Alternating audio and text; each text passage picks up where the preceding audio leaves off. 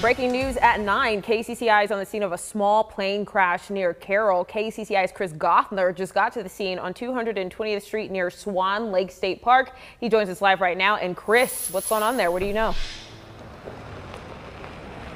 Yeah, this is just south of the Carroll city limits here in Carroll County. Uh, the plane is still here. Authorities are no longer. Take a look at the uh, wreckage here of what looks to be a yellow crop duster type plane. Based on our vantage point, it does appear that the plane is largely intact. Now, Carroll County Sheriff's officials were out here earlier.